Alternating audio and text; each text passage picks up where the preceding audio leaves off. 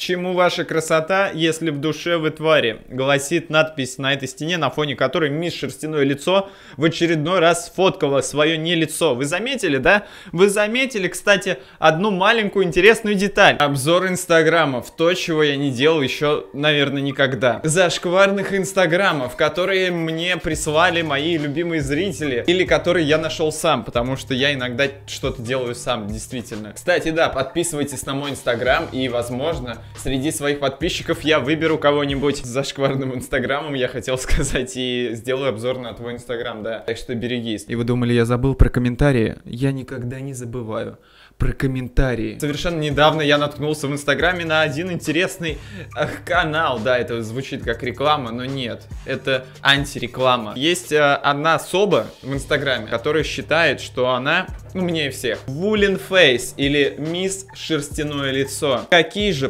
противные лица у вас всех? Вот у тебя. Ты сидишь со своим противным лицом, и мне за тебя стыдно, серьезно. Ладно, на самом деле не мне, а вот этой вот барышне, которая никогда не показывала своего лица. А вместо этого угадайте что? Вот как можно фоткаться, не показывая свое лицо? Конечно, вы угадали. Можно закинуть волосы себе на лицо, если у вас длинные волосы, и фоткаться с волосами вместо лица. А я смотрю, вы не унываете со своими жалкими лицами. Кто-то даже умудряется постить свои рожи каждый день. Особенно мне противны жирные физиономии.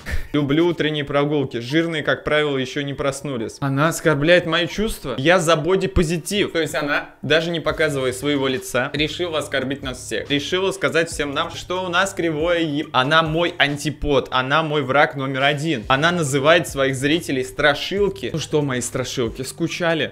Солнечные лучики уже падают на ваши неказистые мордашки? Пожалуй, мне пора исправлять ситуацию. Пойду порадую этот мир своей красотой, которой он явно обделен. Красотой? Серьезно? Девушка, которая даже не показывает своего лица, потому что, скорее всего, там даже не на что посмотреть. Она явно решила оскорбить всех и каждого. Она решила спровоцировать бурление масс. Но самое смешное, поверьте, в этом самое смешное, что она... Мне кажется, я стал ниже, это все потому, что я тапки снял. Если мы соберем 20 тысяч лайков, то я свяжу с мисс Шерстяное лицо и запишу с ней совместное видео. Какая, какая грация. Это могло бы стать скибиди челленджем. Но это не скибиди челлендж. Я не буду это повторять, серьезно.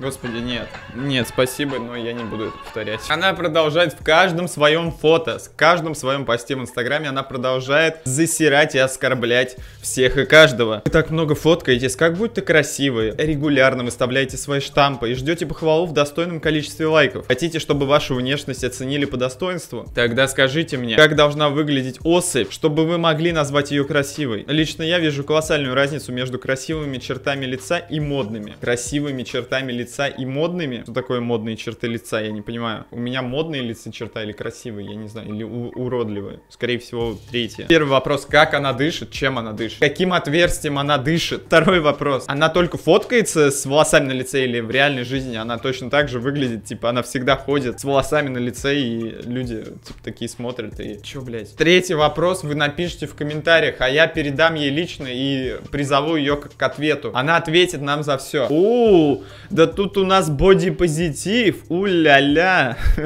Господи. Как вы относитесь к бодипозитиву? Наконец-то мы дошли до моей любимой темы. Можно считать себя абсолютно красивой в любом виде. Можно любить свой запах пота или волосатый под...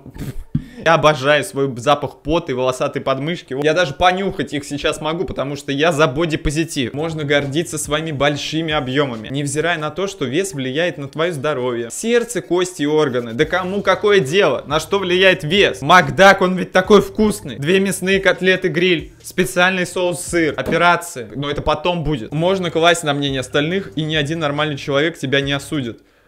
Именно труд сделал из обезьяны человека. Угу. На лицо много труда, который сделал из обезьяны человека. Посмотрите, да. Красиво разговаривать, быть привлекательной, интересной. Также результат работы над собой. Ходить на газово-коксовый завод. Это не работа. Подметать улицы, чтобы было чисто. Это не работа. Боди-позитив. Вот это действительно работа. Оказывается, у нее есть посыл. Чтобы показать, что девушка может быть красивой, интересной, интригующей даже без лица. Конечно, даже без головы она может быть интересной, интригующей, просто с руками, с ногами, и вот вместо головы тут просто шея и не, нету, не знаю, дыхательный какой-то путь. Зачем? В принципе, лицо, да, глаза, ресницы, губы, все, вот нос. Я выступаю против навязываемых обществу стандартов женской красоты, пухлых губ, выдающихся скул, нарощенных ресниц, использования хайлайтера с целью добиться модных черт лица и другого, что превращает современных девушек в штампы. Красота в нашей уникальности,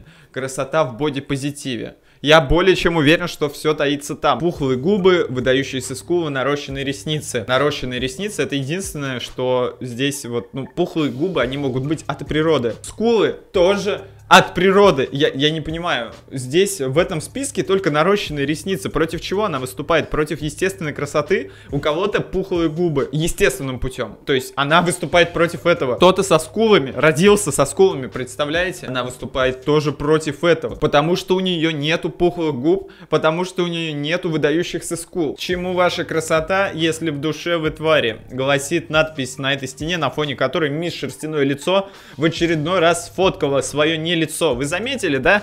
Вы заметили, кстати, одну маленькую интересную деталь. Мисс Шерстяное лицо прикрыла свое лицо и сделала акцент на других частях своего тела. Она немножко лицемерит за счет того, что она делает акцент на своем теле, вот, например, на этой фотографии, или вот на этой фотографии, или вот на этой фотографии, но прикрыла свое лицо, и внезапно у нее такая мысль, навязчивая идея фикс выступать против пухлых губ и выдающихся скул, и нарощенных ресниц, конечно же. Почему она как настоящий Бигфут, не знаю, снежный человек не, не нарастила себе волос на свою грудь, на свои ноги, на свою задницу, чтобы доказать всем, что не нужна ни грудь, ни попа, ни, вообще ничего не надо, не нужен облик никакой. Ей тело не нужно, лицо не нужно, она и без этого может красиво, голос не нужен. Межшерстяное лицо это из разряда каких-то активисток, которые просто придумывают какие-то идиотские идеи и пытаются донести их в массы, совершенно не находя отклика, потому что, ну, типа, 13,5 тысяч человек серьезно подписались. Если бы эта идея действительно, она резонировала у большого, у огромного числа людей, у нее бы было, не знаю, миллион подписчиков как минимум. Бывает, просыпаюсь утром, подхожу к зеркалу и прям в голове не укладывается, как земля носит такую красотку. Не переживайте, страшилки, вам повезет в чем-то другом. Действительно, как Земля носит такую красотку? Земля, она такая добрая, что она может носить бутербродик с вареной колбаской или зарядка. У меня, конечно же, бутербродик с копченой колбаской. Я же не бич какой-то с вареной колбасой. Серьезно, бутерброды с вареной колбасой, кто-то их ест. Может, у вас докторская еще? Если каждого из вас раздеть до гола, то останутся ничем не примечательные особи одного вида. Без брендов, говорящих об успешности за тех, кто их носит. Без всякого блеска, лоска. Телесные, безликие ноунеймы. Я понимаю прекрасно, что большинство дети миллионеров, пустышки, абсолютно никчемные создания, которые пальцем о палец своей жизни не ударили, чтобы что-то сделать, создать, заработать, а родительские деньги умеют легко тратить, поэтому они... Она про них, скорее всего, говорит. Вот мой бренд, посмотрите, мой бренд красавица. Это как Гуччи, только лучше. Это как Гоша Рубчинский, только... Эм, шире. Связаны, наверное, как правило, с проблемами в детстве. Как минимум, она недолюблена папой по-тяжелому, и мамы в том числе, и то, что она там накручивает себе там волосы и так далее. Психиатрия чистая. Полностью согласен. Чистейшая психиатрия. Недолюблена мамой и папой в детстве. РЕН-ТВ и врачи с РЕН-ТВ никогда не врут. Они всегда попадают в яблочко. Вот за что я люблю и обожаю РЕН-ТВ. РЕН-ТВ, если вы когда-нибудь позовете меня сняться в вашем сюжете, идите нахер. Включайте свое доблеботино стереотипное мышление. Берите любые из моих божественных фото и создавайте мемы. Авторы произведения отправятся ко мне в сторис, а победителю удостоится королевское место в ленте. Действительно, она, она серьезно думает, что кто-то хочет попасть к ней в ленту. Посмотрите на лицо этого мужика, который сидит рядом с ней. Он по-любому был полон энтузиазма от того, что она села рядом с ним, что уснул, как минимум, да. И по-любому он сидел рядом с ней, но потом отсел. Чувак, который сделал закрытую позу, типа скрестил в руки, типа... серьезно, серьезно. Вот как реагируют люди на межшерстяное лицо в реальной жизни. В инстаграме она королева, а в реальной жизни она я даже не знаю, какой урок мы можем вынести из сегодняшнего видео. Из того, что делает мисс Шерстяное лицо. Еще одна активистка, еще одна бодипозитивщица, которая считает, что ее идеи против пухлых губ, выдающихся скул и нарощенных ресниц. Я не понимаю, как связаны все эти три э, параметра внешности, но она заставила меня задуматься. Заставила задуматься о моем несовершенном лице. Возможно, мне все-таки стоит его спрятать от вас. Все это время я допускал самую серьезную ошибку, показывал вам свое уродское лицо. И вы свои лица спрятали подальше страшилки, уродины, красавицы. Но еще более креативных идиотских страниц, э, которые вы найдете в инстаграме, присылайте, пожалуйста, вот по этой ссылочке, которую я в описании оставлю. И берегите себя и свои лица.